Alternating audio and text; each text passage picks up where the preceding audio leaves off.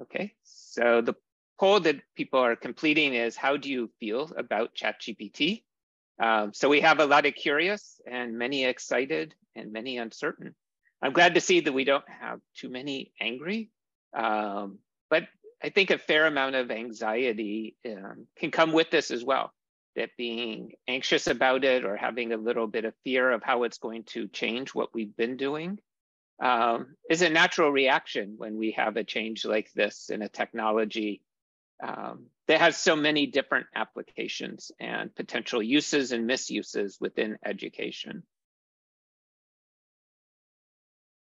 So again, I'm Ryan Watkins. I'm a professor of ed technology leadership and human technology collaboration at George Washington University. And with me um, today, I have Natalie Milman.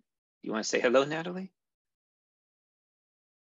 Sure. Hi, I'm Natalie Milman. I am professor of education technology in our master's of and, and graduate certificate program in educational technology leadership, and also a faculty member in the human technology collaboration PhD program and department chair of our Department of Educational Leadership. And Mike, our third presenter today. Thanks, Ryan. Hello, everyone. Thanks for being here this uh, late afternoon, evening.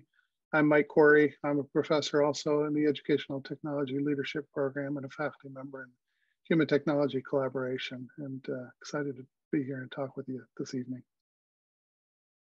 Great. Um, so as you can see, we're all from the Ed Technology Leadership Program. Um, so we've been around for about 30 years um, doing ed technology and focusing on how to develop leaders in the field. Um, we offer online asynchronous courses, um, and we've been doing that since the mid 90s. So I remember when I first came to GW, the same year that Natalie did, we wrote all our own HTML pages back then. So We've been doing this through a variety of different technologies, and we're looking forward to seeing how these current technologies are then to shape what we're doing and what teachers in the classroom are doing at all levels. And tonight we wanted to focus on how it's really going to start to um, potentially impact on K-12 education in particular. Um, you probably have heard in the news, there's lots of talk about ChatGPT and these new AI technologies. Um, and at times it can feel like what Charles Dickens described in A Tale of Two Cities, that these are simultaneously the best of times. There are wonderful things we can do with these technologies. And at the same time, it could be the worst of times. Um, as we all know, these technologies make it very easy for students to cheat. Um, it makes it very easy to create misinformation campaigns. Um, we're, we're only starting to scratch the surface of all the both good and the not so good things that are going to come from this new round of technologies um, that we're going to talk about more tonight and show you some examples of as well. So with that in mind, um, I'm going to go ahead and get us started and um, talk a little bit more about where we are um, so ChatGPT um, was launched as kind of the fourth generation of OpenAI's what they call GPT models, um, which are generative pro generative pre-trained transformer models, which is a mouthful and not really that important to know, but that's the technology behind them. Um, so these this newest model was released in the end of November, um, the very last day of November. And very quickly it caught on. Within the first week, there were several hundred thousand users. They reached a million daily users by the end of the month of December. Um, and this was a big step forward. Um, but this also then came with some unease around how is this going to impact on schools? Um, within our research lab in the human technology collaboration area, we had been working with the GPT models and their predecessors um, for about a year before this.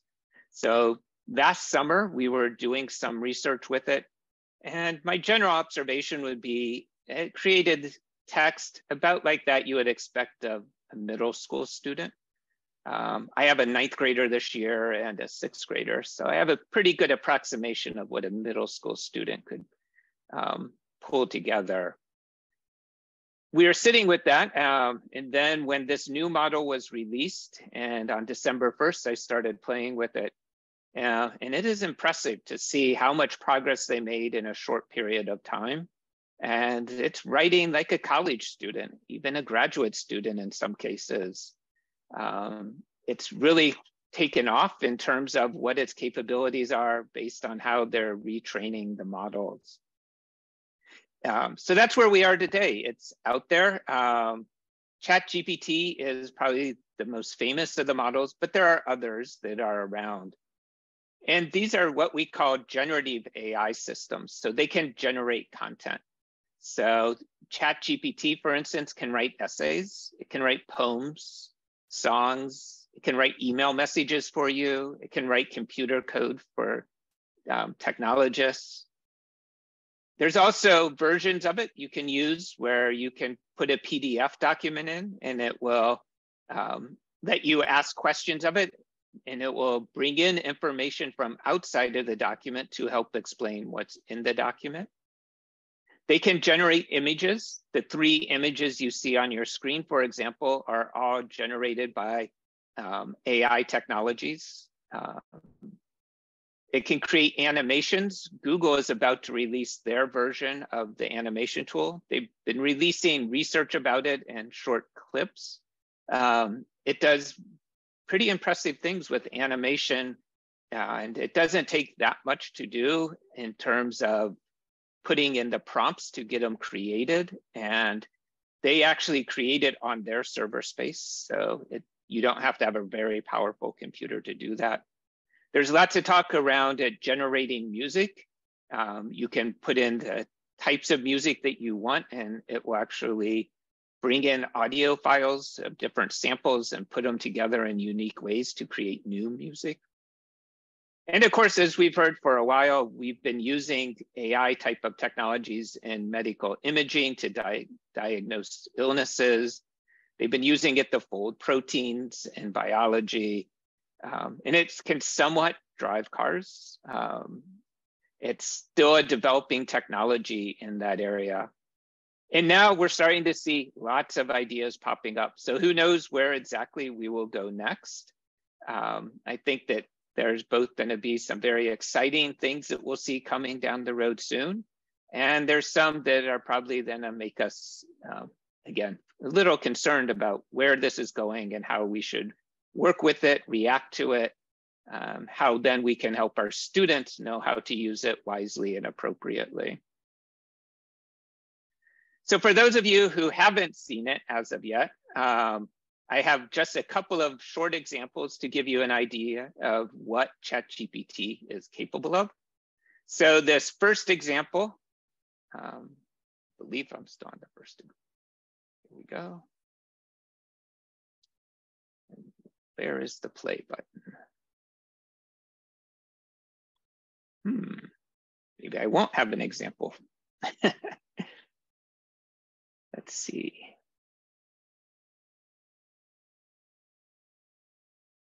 Nope, it just keeps looping back through. Um, I gave this talk yesterday and it did not happen. So I'll have to think for a minute about this. Um, what I can do is I can come back to the examples as well, because I think it's really helpful to see um, ChatGPT in action. Um, yeah, maybe what I'll do actually is I can jump out of my presentation. Let's see if it just runs on the screen. Uh, no, it just has the image link.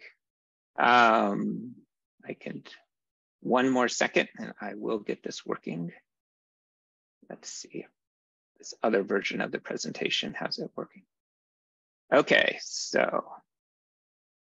I'm gonna stop sharing for one second. And now I will reshare. And hopefully, okay, so go to this. Uh, now we have a play button. So in this first example, I asked ChatGPT to provide a 300 word summary of the three primary causes of the French Revolution as compared to the American Revolution. As you can see, within seconds, it gets started writing and it starts to outline what are some of those significant influences as the causations of these two revolutions. Um, so it says financial crisis. France was facing a severe financial crisis. Um, and it goes on um, up to the 300 word limit that I had given it for this example.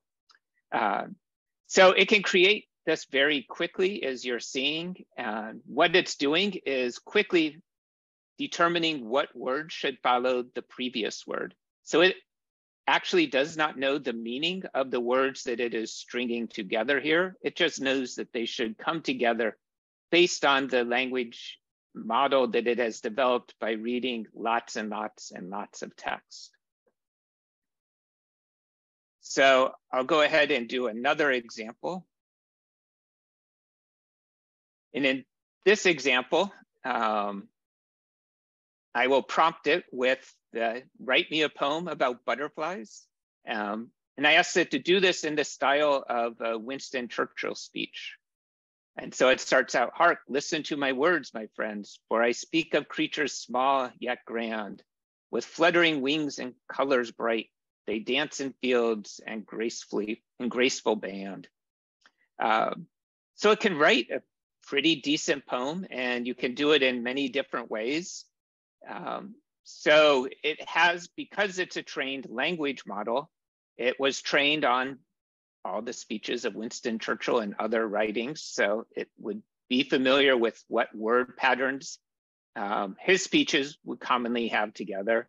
And then it can write a poem about butterflies based on prior poems that it has read as well.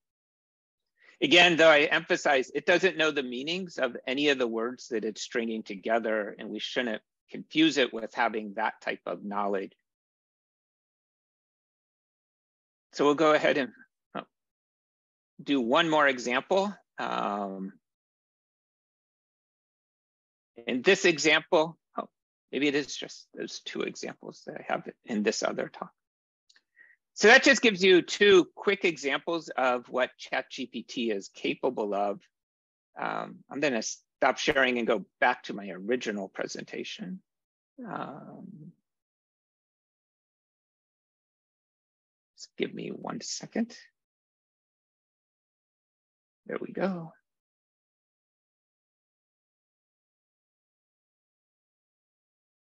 And so if that's what ChatGPT is capable of, what is it exactly that we're talking about when we say this is artificial intelligence? So one definition, and there are many definitions of artificial intelligence, is that it is the science and engineering of making computers behave in the ways that until recently we thought required human intelligence.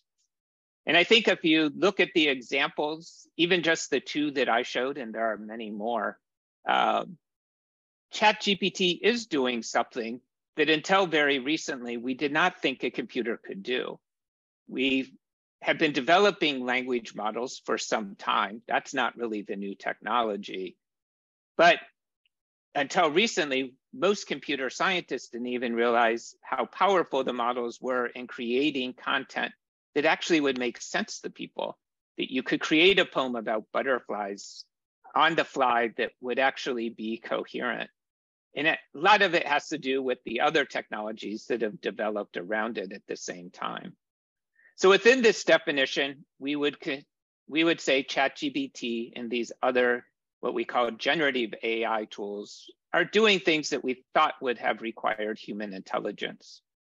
And so they're artificial intelligence. Now, the key be idea behind AI is that we have machines that can mimic or reproduce some of the cognitive abilities of humans, such as perception, reasoning, decision making, without necessarily like in all of their other ways. Um, and this is actually how ChatGPT describes the idea behind AI. So it can give the illusion of perception, reasoning, and decision making without necessarily having really human-like intelligence running behind it. So though we use the word intelligent, um, I wouldn't miss, I wouldn't confuse that with human intelligence. It doesn't work like the human brain works. Uh, we don't necessarily understand exactly how the human brain actually learns and does what it does. We have good ideas, but we don't understand all of it. Um, and what a machine is doing when it's learning is not the same type of learning. And we call this machine learning when we have a machine that is um, doing something that we might otherwise describe if a human or an animal was doing it as learning. Um, so as I've mentioned, these are what we call large language models. Um, and it is a type of machine learning that is trained. So people put data into it to train it and they're training it on a large amount of data and so that it can identify patterns and similarities in that data and then make predictions based on those patterns. And that's would simulate how humans and animals might learn. And so we that's why it falls within the field of machine learning. So large language models, as I've mentioned, um, are a type of what we call neural networks. Um, and you don't have to understand the details of how they work, but it's important to understand that what they're doing is essentially taking large amounts of books, text, articles, tweets, you name it, it's in there. They're looking at each word. So they take each word as a unique character and they call it a token and they map them together to say when how are they related? So if one word appears what is the likelihood that the word after it should be another word? And they can do that within phrases within context which is the really impressive advancements of chat gpt is that it will as you ask it more questions it will answer them differently unique just to you so if you ask it to do something, it's going to give a different response than if I ask it to do something because it's learning based on the responses that it's given me and what I've asked it. But essentially, it's doing a lot of calculations very quickly, kind of similar to the image at the bottom. So if the sentence that it is writing is the best thing about AI is its ability to, then it looks at what are the probabilities of the word that should follow the two. Um, in this case, 4.5% of the time, the word learn should follow the word to. And I think what gets interesting, and this is where it gets even more complicated, is it doesn't always predict, I mean, it doesn't always choose the word that had the highest probability. Um, and that's where it adds in some of the variation that makes it even sound more natural then if it always picked the word of the highest probability, a lot of times the sentences would end up not making as much sense. And that's really where the programmers and the technicians behind ChatGPT um, fine tune the model to make it even more accessible and usable by the user is by how they determine when and how to pick different words to follow.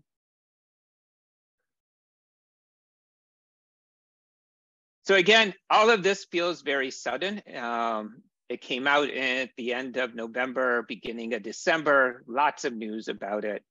Um, but it hasn't really been that sudden. These technologies have been developing over the past five, seven years, um, some based on new types of technologies, such as computer chips that allow this to happen better.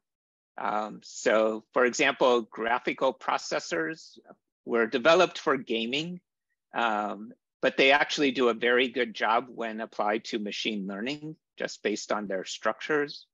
Tensor chips are also been developed specifically to enhance machine learning. So machines can do this much more quickly. Um, we also have had uh, a lot more data becoming available, and that has allowed us to do a lot more things with machine learning. Um, and of course, money helps. And with venture capital, there's more and more money. So I should point out, though, that what we're looking at with large language models and the current AI and what we're reading about, this should not be confused with artificial general intelligence, um, which is kind of the concept that you might think of with Terminator, where um, we create artificial intelligence that has free will and sets its own goals and goes about achieving those. That is not the technology that we're actually looking at at this point in time. Um, I'm not an expert in AGI and when it will come, if it will come. Um, there are others who follow that much more closely, um, but we're a long ways off from that technology at this point. These are very much um, very specific applications. They only respond to prompts that we give it. It doesn't decide what to do on its own without human so, intervention. Ryan, we have a couple questions in the chat, so um, I'll add, I'll ask two that I think are pertinent and see if, okay. see what you think because I'm really curious myself. Um, one is, what are the limitations of Chat GPT? Um, well, ChatGPT specifically, it's a text-based language model. So it's not the one that draws pictures or creates animations. It doesn't create audio. Um, its primary purpose is to respond to text prompts. Um, now that doesn't say that you can't do a lot of interesting things with it though. Um, so there are ways that you can use ChatGPT to create graphics like flowcharts and stuff for you. Um, and people are experimenting with other ways to link ChatGPT to other websites so that you could, for example, scrape information off other websites using ChatGPT too. Um, but yeah, that's one of the limitations of that model. Um, generative yeah, AI in general, again, has its limitations. It's a set technology. It can't fold proteins. It can't drive cars. It's not connected with those other AIs that are also being developed um, in other fields. I also read an article um, preparing for this that the database or, or, the information that it's using is all from 2021 um, although it it's supposed to be updated or being updated. So that's a limitation. It's the data that's in it and the datedness, you know, how current that data is. One more question that I think pertains um, here: Does a does what well, it was the question was AI in general, but I think um, we could we could ask: Does Chat GPT produce the same material or content content for each person? Like if you asked chat gpt the same prompt and if i ask the same prompt would it provide the same information? Uh, it would provide similar information but not exactly the same. Um, now there are some limitations that like if each of us signed up for new accounts and we had no previous personalized training in the system then those are going to be a lot more similar but still not identical. But once you start using it, it is learning from that experience and those interactions, and it's going to create new content unique to you um, based on your prior interactions with it. It's um, in a way, it's building a model of you so that it can respond to you most effectively, uh, which is great some of the time. Um, and it's very useful that it gets better and better at responding to you and the types of things you prompted to do. Um, but then I think I know where the question's getting to is, well, how does that relate to trying to catch people who are using it if there's not really the same exact responses being given to everyone? And I think that's where it differs than the prior technologies and the tools we are using to catch plagiarism in the past, where prior technologies for catching plagiarism looked for the same sentences. Uh, and then if it found duplicate sentences, it would mark it and highlight it. And um, this, those technologies are not useful for this. There are other technologies being developed that are trying to um, be able to identify when it is AI generated and not AI generated. OpenAI, the company that developed ChatGPT, um, started offering theirs. But even in their own announcement that they were offering it, it only had a 26% success rate of catching AI generated text as being AI generated. Um, and that's only if you have straight text out of the AI. If you paraphrase it at all, if you go in and make edits, then it's going to be almost impossible for these tools at this point to pick it up.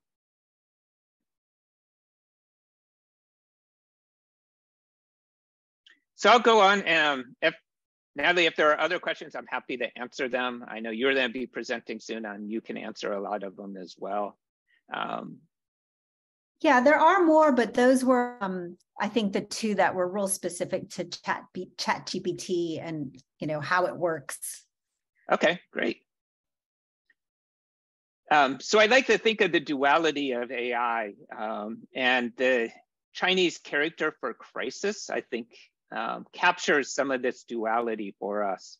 Um, I don't actually read Chinese. My kids take Chinese, but um, but my understanding is the characters for crisis is a combination of two characters, one for the word danger and one for the word opportunity if they're separated. And I think both of those apply to what we're looking at with this new technology. So to start, I'll talk just a little bit briefly about some of the dangers or the concerns that we should have about these tools. Um, so it does require lots of data and information. Um, as Natalie mentioned, it's trained on things up to 2021, but it's trained on a lot of stuff, billions of words. Um, everything from Wikipedia to Twitter to books that have been scanned to the internet, you name it, it's in there. Um, and not all of it was taken with explicit permission. And this has become a big issue in relation to the art programs more specifically. Um, they were trained with art images from the internet, but the artist didn't always give them permission to include those images. Um, so that will be battled out in the courts as to whether those um, explicitly violated copyright or not. And there are lawsuits pending. Um, also, um, so when you prompt ChatGPT and ask it a question, um, it gives you an answer. And this is very different than a Google search, where a Google search, you ask it a question essentially, and it gives you choices. And you can go to the choices and apply your own critical thinking and decide which choice is the one that best answers your question or which combination. And I think this gives ChatGPT um, an authority voice by just answering the question. And I think people will often misconceive that to be the answer when it's really just one of the answers. And it may not even be the correct answer because again, ChatGPT has no knowledge of what the words mean that it's leaning, that it's putting together. It just knows they should go together. And there are some very good examples of where ChatGPT gets things very wrong. Um, early on, I remember one that was going around Twitter was someone asked ChatGPT about Hillary Clinton, and it said that Hillary Clinton was like the 50th president of the United States. Um, of course, we know she was not elected, but it was written about so many times that she would be president that ChatGPT thought that those words belonged together, even though that wasn't actually factual. So, and it will make stuff up. So it's routinely wrong. It's very confident in its wrongness. It'll make up journals that don't exist, articles in journals that were never written, authors of articles that were never alive. Um, so you do have to be very careful with it. Now, that said, people are working on tools that will lay on top of these models that will correct that. Um, so it'll go through and correct the information that is wrong. Um, so it'll get better with time in terms of its ability to be correct, or at least to offer one of the answers, maybe not the answer. So that that also, is one question. Oh, oh, sorry. Okay. so that was one question. What can ensure the validity and reliability of the content? Currently, nothing within the models. Um, yeah, the models are just words in a giant, imagine three-dimensional space, and it's figuring out which ones are closest to each other and how to put those together in an order. Um, so it doesn't know what the right answer would be, nor does it care. It's that's not the task that it was built for. So you would have to do that on top of it. Um, now, some applications are very good about this. So I have one on my phone where you can chat with historical figures. So you can chat with Martha Washington and ask her about what it's like to be married to George Washington and nicely at the beginning, it does say that you should check all of the facts that it doesn't necessarily actually know what Martha Washington thought about living with George Washington. Um, but based on the language model, you get to have a conversation and it will give you an answer to that question of what it would have been like based on the words that should go together. It's an interesting experience. Um, it's very engaging. And I'll talk about that on the next slide, actually. Um, so there are many challenges. Um, the systems have biases. Uh, some of those are biases that we like, and some of those are biases that we don't like. And as new companies and new people develop new models, there will be new biases that go into those. ChatGPT tends to lean on a political scale towards liberal or libertarian. Um, but there are new models being developed that will lean on the conservative side and how they respond. Um, so ChatGPT, when it was developed by OpenAI, they chose what data goes into it. Some of those agree with. Some of those choices we probably agree with, such as taking out some hate speech, taking out things from pornography websites, other choices, though, we may not quite agree with what they decided to put in or not put in. Um, so we'll see a lot of debate about that going forward.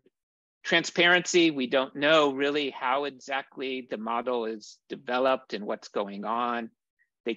Explainability is an issue of how can you explain why it gets one result and not another. Um, data privacy, data ownership, um, the anthropomorphism, always a word that trips me up. Um, but that's a challenge of people thinking that it's more human than it really is. It's easy to talk about ChatGPT as like, oh, I was talking, I asked ChatGPT this and it told me that. Um, like it's human, and it's not human. It is just a language model. Um, and I think we want to talk about it as an it and not a them. Um, there are environmental concerns. It takes a lot of energy to run these models, um, to make the models. It's hugely expensive and a lot of computing power. Concerns about inequality. We, in AI research, they talk a lot about AI alignment. And this is the idea is can we keep AI working towards human um, values and not working against humans? So this is the AGI will AI turn against us types of concerns. Um, there's also concern about the self-reference spiral where, as Natalie pointed out, this current model is trained on things up to 2021. New models will have newer data, but those newer data will also include things written by AI. And so not everything will be human generated. Like this current model, everything it read was primarily just human generated input. But in a year, when new models are created, it will be reading things that it itself wrote. And since it itself can write a whole lot of stuff, um, in the near future, it will be self-referencing to a lot of its own work, which could put us into a spiral where not, new knowledge is not coming in, but we're just reliving in old knowledge which gets into concerns of epistemologies.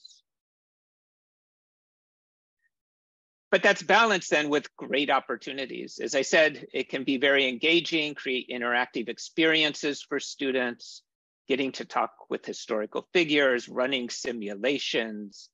Um, it does all those things very well. Um, you can personalize information. So a lot of customer service chatbots are starting to use it. So they sound more natural, they can answer more questions. Um, accessibility, uh, I think this will be a big area.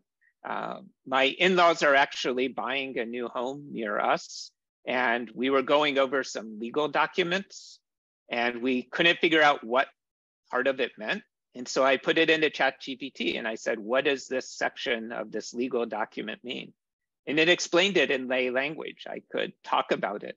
Um, you could just imagine for people where English is a second language, the ability to actually get information to summarize legal documents, um, such as a lease or information on filling out forms for schools. Um, that would be a very big use um, and give accessibility to a lot of information that wasn't accessible before. It's being integrated. Um, it's in the Bing search engine already. There's, it's going into Microsoft Word. They're a big financial supporter of OpenAI. Um, it'll be coming into your email programs, your phones, where it will write draft emails for you. Um, but as we saw earlier this week, Vanderbilt University had a little trouble with this in terms of someone used it to write an email when they probably shouldn't have had a computer generate the email. Um, the email is in relation to the shootings at Michigan State, which are very unfortunate. Um, there's also some interesting applications. Like I saw one they're working on to integrate it into Zoom so that it will summarize your meetings and do the to-do list of who agreed to do what at the end of a meeting. And then it can um, produce that for you so you don't have to have a note taker at the meetings. In education, it can hopefully make us uh, or give us the opportunity to work with students more on critical thinking and metacognition.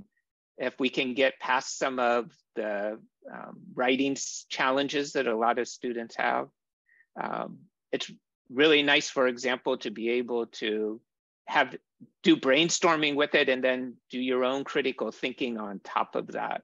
And I'll talk more about that on the next slide.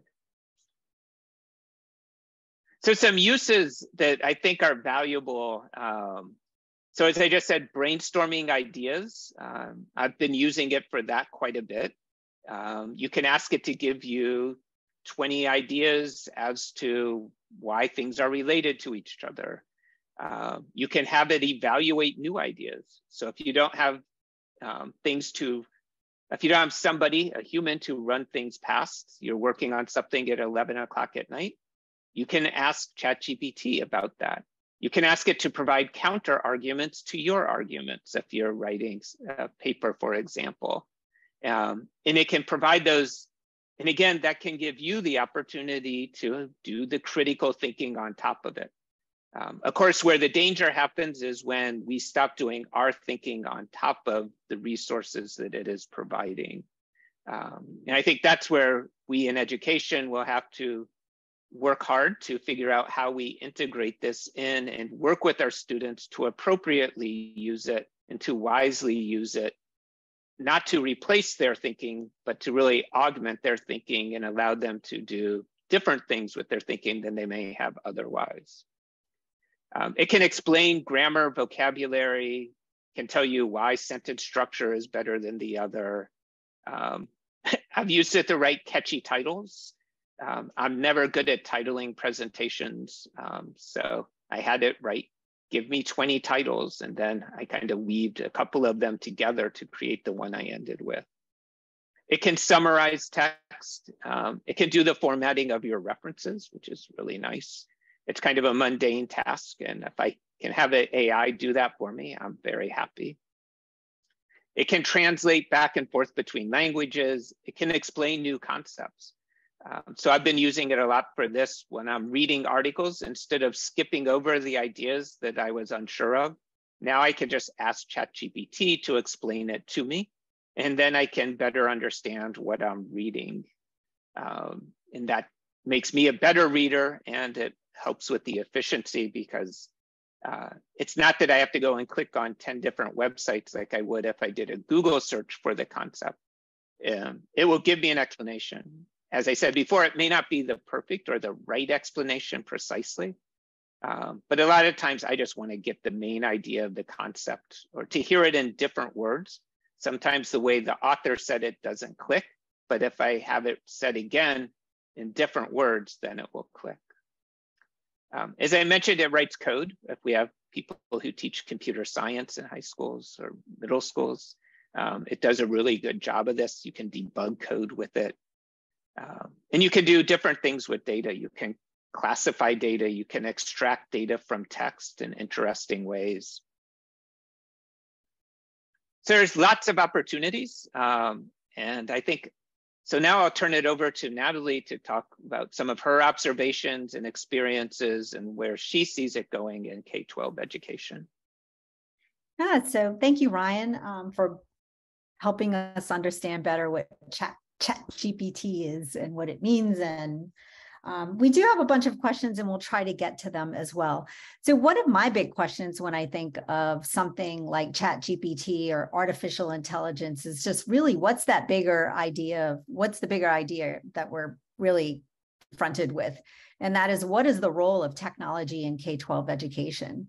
And it's something that um, certainly with emergency remote teaching and learning that happened early on in the pandemic and the shift from one day to another to using all kinds of technology and having to learn how to use all kinds of technology.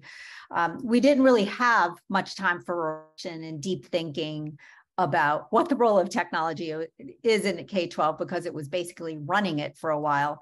But since things have moved along um, in the pandemic and um, I think schools are now starting to make more informed choices I think returning to this question and really thinking about what is the role and, and also thinking about what is the role for AI in K-12 education. Next slide, please. So I think we all have to just understand no matter how nervous, anxious, angry, all those wonderful or negative feelings or mixed feelings you might have about AI, it is here to stay. And as Ryan mentioned earlier, it's been around for quite some time. It's just that Chat GPT is taking advantage of it, some advances in technology that are allowing us to use it in ways that hasn't been as broadly uh, available to the, you know, anyone, pretty much anyone in the world.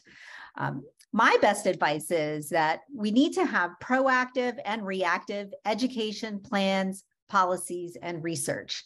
And you know, I find that with a lot of technologies, no matter how much we work in education, we're we're thinking about it in a reactive way. So I often, when I when I think about technology, I think of well, what can we try to do proactively? I'm sure your schools have policies in place. Um, and relying on those established policies is really important. But it's also important to be flexible. If you can go to the next slide, please. So again, um, thinking about being proactive and reactive, all, all of these points can be applied in a proactive way as well as a reactive way. And when I think of AI and ChatGPT in K-12 schools, I also think of, well, it's it shouldn't just be the teacher's responsibility to figure things out. Uh, you know, schools. It, I often say with education and and raising children, it, it takes a village. So thinking about what are what are the policies that exist, what policies need to be revised in light of tools like Chat GPT. Um, there's also a need to, as I mentioned, not only reflect on, but really for school administrators to coordinate periodic reviews of technology and their implications. You know, how is this working in reality? What are the challenges that teachers and students and, and their families are encountering with these technologies? What changes in policy might be needed? Um, I personally am not an advocate of banning because, you know, you might ban something you might ban something um, in person i mean in in school but yet students have it on their phone and they can run it or they can use it at home. So um, you know i don't i don't think banning necessarily is is the answer but you know your own community might decide to ban it and that's your choice. Um, i just think that banning is not going to stop its use. The other is that we really need to turn to our students and, and one of the questions that was in the chat is uh, how comfortable should i be with with this tool or how comfortable how comfortable should educators be with chat gpt and that we can't all be experts in every single tool that gets developed today, tomorrow, yesterday. Um, you, you just can't be. So learning from our students, learning from all the different people, um, learning from experts like my colleague Ryan and my colleague Mike Corry. Um, getting information is really important for school leaders to be leading that and learning from. Um, also, professional development, you know, is really, really important, as well as parent education. Uh, sometimes professional development only focuses on teachers and schools, but parents really need to be learning about these tools as well and how they can help their own children or adolescents and young adults understand the ramifications of using these tools. And some of the facts that Ryan shared about the limitations of the tools and how it can provide incorrect information. So how can students be more critical about using these tools?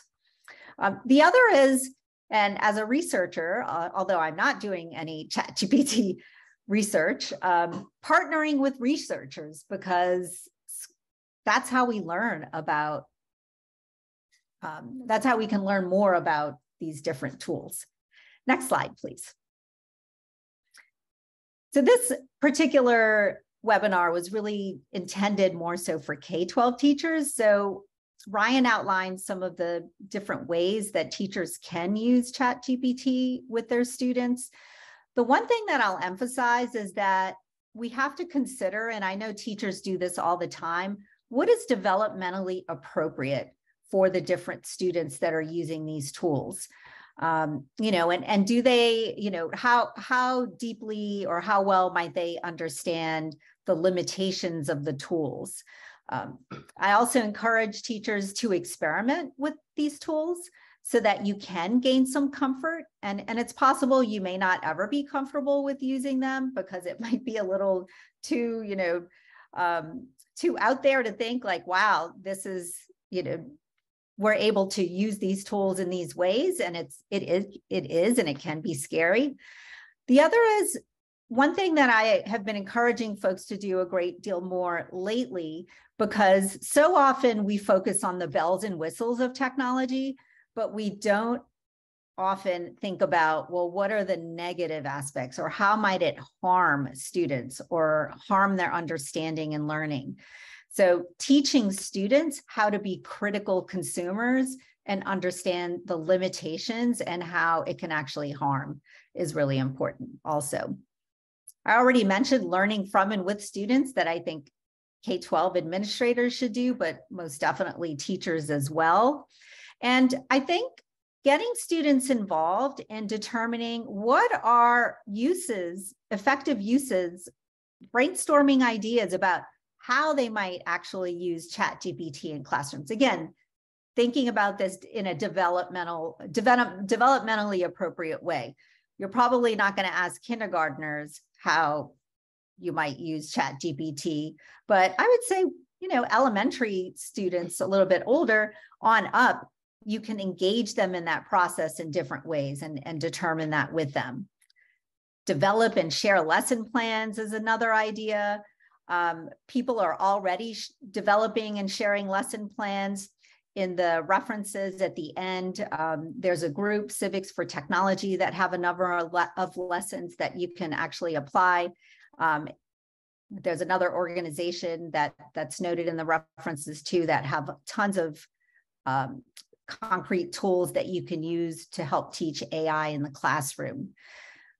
And then I think the last three speak for themselves seeking professional development, um, again, participating in research. And the last one, I think is really important and one that teachers often do in their own classrooms, sharing what you're learning, but sharing it also at conferences, um, you know, maybe partnering with a, a, researcher and sharing your your what you've learned through an interview or informal or formal. Um, so all kinds of ways that you can um, share what you're learning, but also sharing what students have been teaching you as well. Next slide. I think we're going to turn to Mike now. Thanks, Natalie, and thanks, Ryan. This has been wonderful, and uh, hope everyone's learning a lot and uh, the creative juices are flowing. So a couple of things uh, before I jump into my slides that I wanted to follow up on. Uh, one, I don't think we told anybody how to, to, to get in and play with Chat uh, GPT. It's free for the time being. And uh, Ryan, I don't know if you can put in the in the chat box how to get in, but it's chat.openai.com and uh, uh, it's been it was super easy to sign up and it's really very intuitive uh, to use and i don't want everybody to leave and go and sign up right at this moment so so hold on that but i would uh, if you haven't done so already i'd encourage you to get in and try it out and uh, i think you'll be amazed at the things it can it can do for you um, and i should also mention that uh, Ryan uh, discussed that this uh, one of the big backers of OpenAI is Microsoft, and that's the the Chat GPT is going to be infused in the Bing search engine before too long, and, uh, and they're already in the process. Google, not to be outdone, is doing their own thing. It's called Bard, B-A-R-D, and uh, Bard uh, had a, a little. they had a little preview of it a couple weeks ago. It had a little bit of a hiccup so I don't know if that'll delay it when it's released or not, but Bard will be coming along and that'll be tied to the Google search. Um, it's, I guess I'm telling you this because uh, chat, AI, language learning models are going to be everywhere. And uh, I think the time for us to really think in K-12 education about uses, uh, effective uses for our students is, is right now. And just like these language models are going to be learning the more that people use them, we're going to be learning new ways to use them, new ways to apply, to apply them so that students can find success. And I think this is going to have a tremendous impact on the way we teach, the way we learn, um, and education in general. So it's an exciting time. It's a fun time. Uh, and I'd invite you to get out and, and try it out. And I think you'll really, uh, you'll, it'll open your eyes and, and really get you excited about this. So with that in mind, um, I want to talk a little bit. I, I do a lot of, uh, well, all three of us do a lot of online learning and teaching online. I, I work a lot with K-12 uh, uh, learners and teachers. And so I wanted to take just a few minutes and talk about uh, these advantages and disadvantages of, these AI language models in, in online learning. And so some of them will be very, there'll be some overlap between what uh, I'm saying, what Ryan and Natalie have said, but some of the things will be new for example, I want you to think for a moment about 24-7 availability uh, with a chat GPT model or something like that in AI. Uh, our online learners or any of our learners, if they're looking for uh, responses to questions, uh, they no longer need to wait for the availability of a teacher. Uh, they can now, they can go out in real time, 24 seven, get answers from these AI language models. And that feedback is instantaneous. Uh, there's no need to wait for a reply or a post from a, from a human being. They can get a response quickly. Now, Ryan, if you go to the next uh, slide, please. Um, as Ryan has mentioned, these models, these AI models will become very personalized with time. And they become personalized to the individual learner.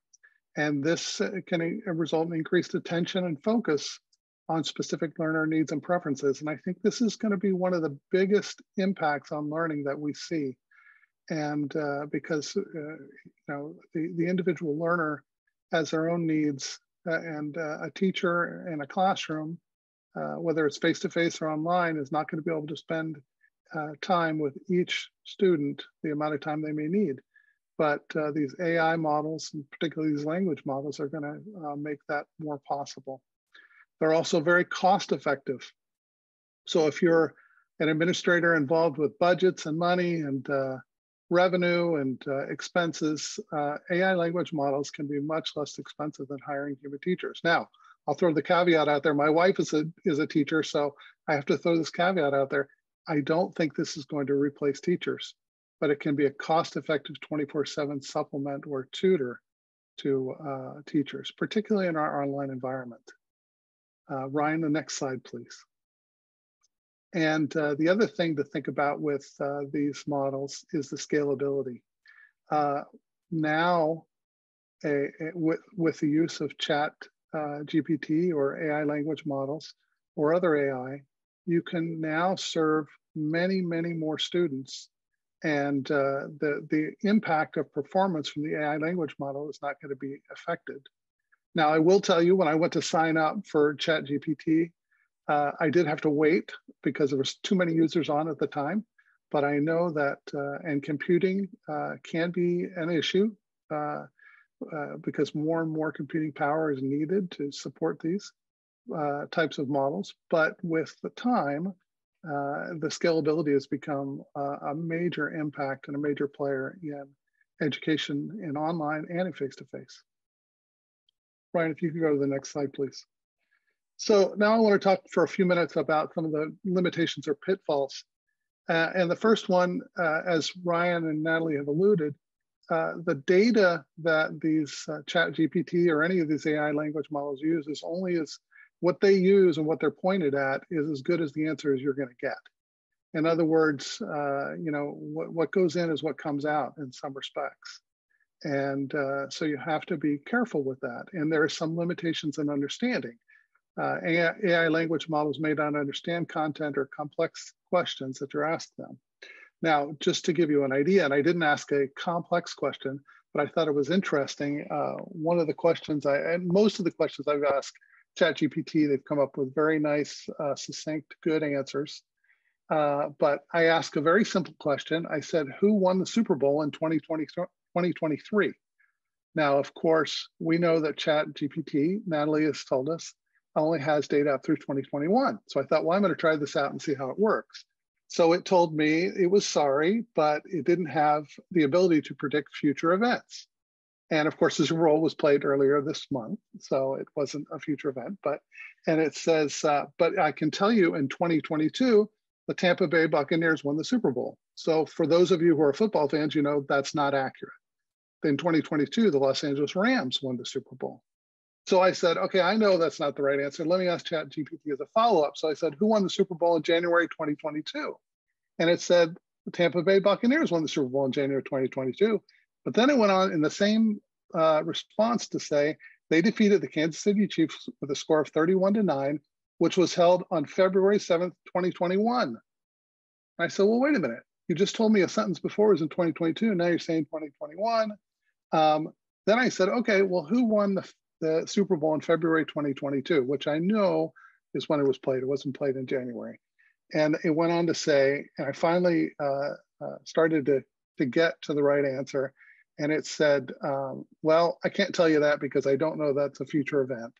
And I said, okay, let me back up and say who won it in February 2021. And then they got the right answer. They said uh, who had won it, and it was accurate, and Tampa Bay had won it. Uh, so I, I'm using that example just to tell you that you need to be careful. And if I had to, uh, any advice to give to you, to your students, to anyone using ChatGPT, uh, it is to verify what information you're getting and verify it once, twice, three times, because uh, uh you're going to get some information that's just not right. It's just not, uh, the uh, ChatGPT doesn't quite understand the complexity of the question and what's going on. Now, with that said, I still think it has wonderful potential and it produces some amazing uh, outcomes. Ryan, if you go to the next slide, please. Um, a couple other quick things. I think I have three more bullet points on some of the disadvantages of ChatGPT, particularly in online learning. Is one, uh, it lacks emotional intelligence. It's it's a, it's a computers. It's a bunch of computers put together, and the results uh, may not take into consideration. In fact, it will not take into consideration emotions very well. And the second one is uh, lack of creativity and critical thinking. Now, while it can help you with your critical thinking, it is going to put together a string of complex sounding responses and they may lack that creative spark or critical analysis. Uh, so I think it's a great supplement. Uh, if I was having a hard time writing something, I might go out to ChatGPT and say, hey, you know, tell me a little bit about this or something like that, just to get the creative juices flowing. And it will give me two or three things to start me thinking uh, and analyzing in a more critical fashion. Next statement or next slide, please. Oh, I have a couple more. Uh, as Ryan has mentioned, biases can be built into the data and the responses, which I think is really important to consider. And then privacy and security, we haven't talked much about. Um, you know, at the university, we have an institutional review board or IRB, which uh, kind of keeps uh, guard of many things. And we have security and privacy uh, uh, policies. Uh, Chat GPT and AI language models don't have those built in. So you need to be careful with privacy and security. And I can't remember if it was Ryan or Natalie talked about intellectual property rights, and uh, that falls into this uh, general category also. And that's a huge, huge issue. And I think there's one more slide if I don't. Nope. I'll turn it back now to Ryan. I, I think that comes back to me. Yeah. So, advice. Um, first and foremost, I would say talk with people about it. Um, talk with your colleagues at work um, talk about what your concerns are about how this will be used in the classroom and um, talk with your students then about those issues. Um, as Natalie said in the chat, it's important that students understand uh, what cheating is and that using something that's generated by ChatGPT as your assignment is a form of cheating. Uh, potentially using it as a brainstorming companion would not be. It depends on the teacher and the rules the teacher puts down. Um, but having open discussions with this will help our students know how to use it. Uh, like William said in the chat, I want to believe that most of our students, almost all of them, are going to use this in good ways. And I don't we don't want to start from the perspective of, well, everyone is going to be cheating with this because we know that we have very good students um, and most of them want to learn new skills and learn new knowledge and want to grow in new ways. Um, but there will be some that don't know exactly what cheating is potentially or not understand that this is a form of cheating. Um, and we want to have that conversation with them that also then helps them be aware that you're aware. Um, so you don't want to be the teacher that the students think they're pulling a fast one over on. So have those conversations with them about ChatGPT, what it's good for, how you'll know kind of when they're using it, when they're not using it. You may exaggerate a little bit about how good you are at detecting it. Um, up to this point, I think a lot of the detection, the software or this um, platforms like GPTZero can be helpful. Um, they're not great, but they can be helpful um, for determining if it thinks that an AI wrote it. Um, one of the more powerful ways is to know your students and know what they're capable of. I had a colleague write the other day that she caught her first student using ChatGPT to submit a response. Um, and it turned out how she knew it, the student had done it was she said the student, um, she knew the student could never write that well. And what ChatGPT produced was quite elegant and the grammar was all perfect and it used vocabulary the student wouldn't have used. Um, and so that's how she got suspicious. And then she used a checker and it was confident that it was written by ChatGPT. Um, so please don't let the conversation stop here. This hopefully is an initial part to give you a little bit more grounding and foundation in what ChatGPT and these other generative AI models can do and are capable of, so that you can have conversations again with your colleagues and students about um, how this is impacting how you might change your assessment strategies, how you might rethink some of your lessons, um, and how you may engage your students and encourage your students to use it so that they're starting to build those skills for the future. Um, so if you would like to be on a mailing list for some resources and upcoming events, future webinars that we might offer, future summer workshops we might have around K-12 and AI, um, or ones that we see others are offering. You can go to the website listed and there's a short Google form. Um, we promise not to spam you or to sell your data to others. Um, but when we see things, we can email it out to this group um, and to others to share what's going on in the community, what types of resources are being developed to help support all of us as we try to figure out um, how K-12 and higher education is being changed by these new technologies. Um, so Natalie put that link directly into the chat room, so you can just click on it there. And there are also resources available to you. Um, as Mike said, there's the link to get into ChatGPT. Um, that's also the link right below that to their classifier that tries to determine if the content was written by it. Um, the other one that's very popular is called GPTZero, Z-E-R-O. Um, and we can add a link to that um, as well. So updating your course, I, I, wrote an article back in December offering ideas of activities that you can do with students um, to use ChatGPT. Um, you can access that there. There's also some advice from others in academia. Um, just a variety of resources um, that you can use as you try to get more knowledgeable and stay up with the technologies that are shaping education today. And now we have a little time for Q&A. Um, if people have questions, we're happy to give our responses. You can either put it directly into um, the discussion board, or if you want to, you can raise your hand and then we can, um, you can unmute yourself and ask the question.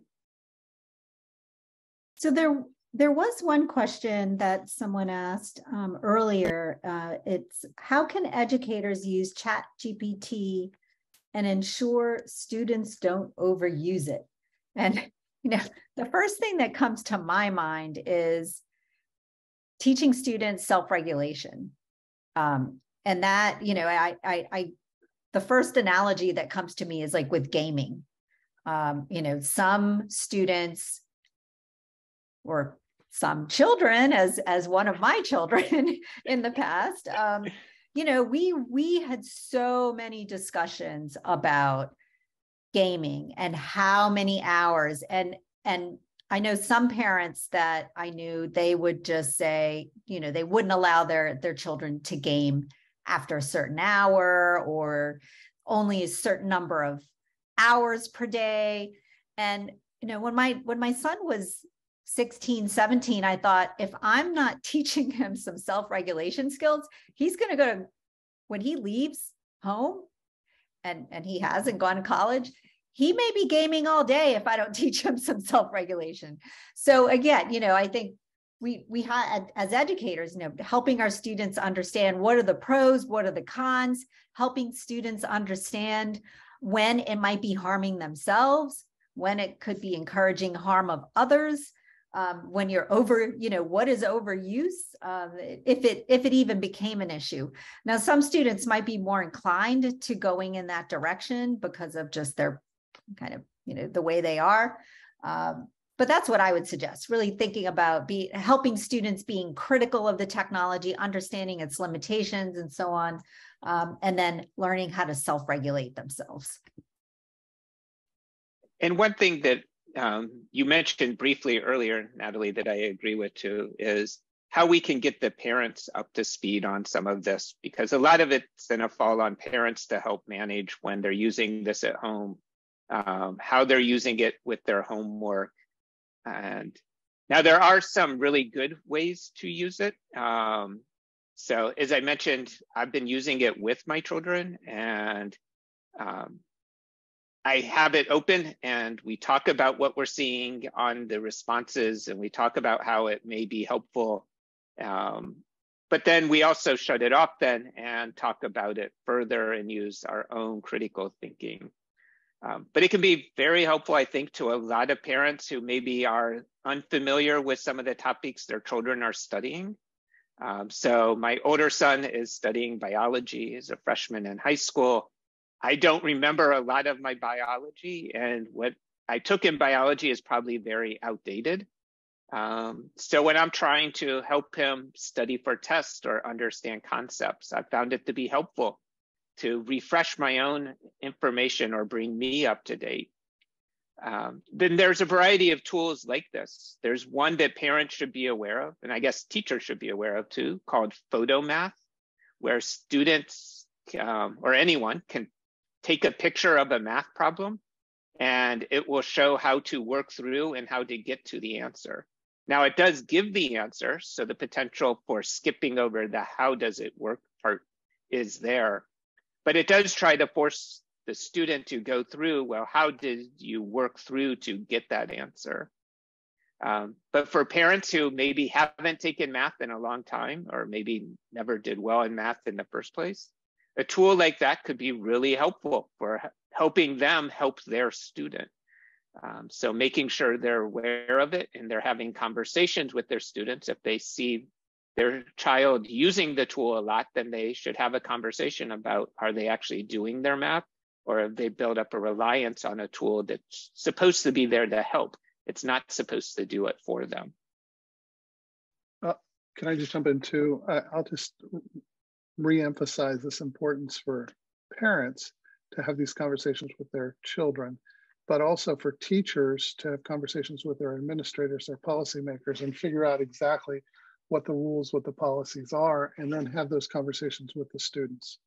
Um, this is pretty new. I mean, in reality, uh, even though it's been around for, for a while in different versions, the mainstream society has just jumped on since November, December, January, and many more are still jumping on board. And so this is new, and it's uh, you know it, it, you need to talk about it in your with your kids and with uh, your students, and uh, it's important to do so so that everyone has a sense of stability uh, with everything that's going on.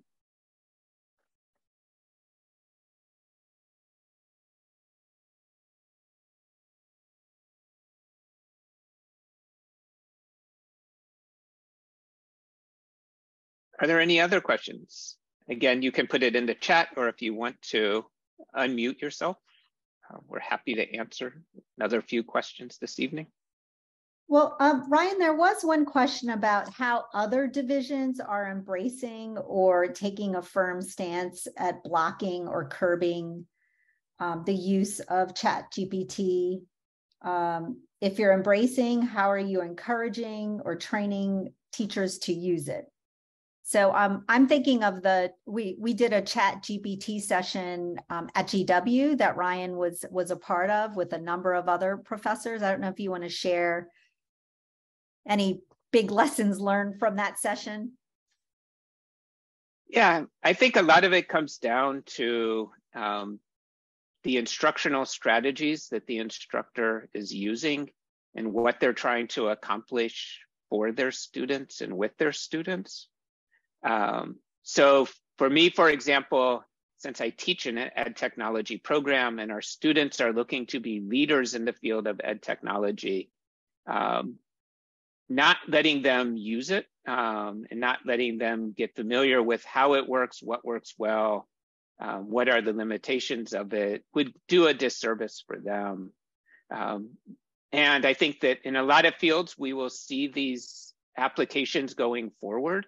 Um, so if you're preparing students for the workplace of the future, they're going to have to be able to work well with these technologies. And that's going to give them um, the skills that are going to be employable going forward. So if you're in those situations, then I think integrating it into your lessons, um, asking students to do the first round by looking at what ChatGPT says. And then, for example, what I did recently was I had students start with the responses of ChatGPT, and then I asked them to put it into a Google Doc and use comments and track changes to add to it, to correct it, um, to provide additional resources related to it. So they started with ChatGPT, but they weren't allowed to end with ChatGPT. Um, and I think that added both to their knowledge of what are the limitations of the tool, but also to the content knowledge of this subject that we were talking about at the time. So I think there's lots of creative ways that we'll be able to use these technologies. Um, it's going to take time. Um, as Nai said, I'm also not in favor of banning.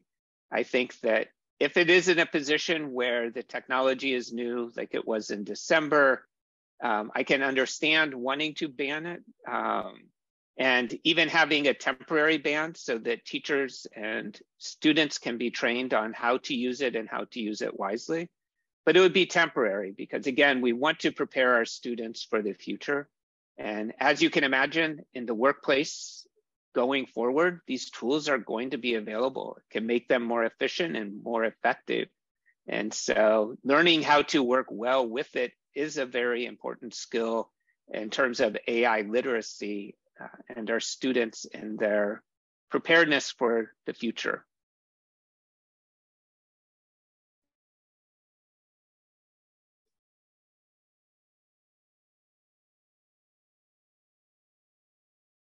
Oh, and thank you, Jennifer, for posting. Um, that yes, Fairfax County and Loudoun County, um, I believe both have banned it. I believe that um, Prince George's County and DC are still investigating and trying to determine what their policy should be. Um, banning it though on school computers, I think um, may have been a good strategy a decade ago, but it's really hard to keep a technology like this out. Um, you can integrate it easily into even your Google search. So if you use, for example, the Chrome browser, you can add an extension where it adds ChatGPT to your Google search results. Um, and it would not go through the blocked IP addresses. It would go through a different IP. Um, we'll see more and more of that. At this point, um, the primary interface is through OpenAI's interface but they have what we call APIs, which allow computer to computer interaction with it and their prior models. And so you'll see it integrated more seamlessly without having to go to the OpenAI website, uh, making it harder and harder to block. And so it's a short-term answer potentially for some school districts. And I'll you know reiterate this uh, that these AI language models are going to be tied into Bing shortly and Google search probably in the near future. So uh, banning is going to be very, very difficult. And Elizabeth makes a good point that banning also creates equity issues. So some students who will have access at home on other devices um, or have their phone with them will be able to access it, while those students who rely on school issued machines may not have access then to the same tools that their peers have access to, and that can create equity concerns. There was a good discussion of that actually yesterday, um, yesterday morning on NPR, um, the show 1A. It's worth taking a listen to. It's a 30 minute segment on um, AI and education as well.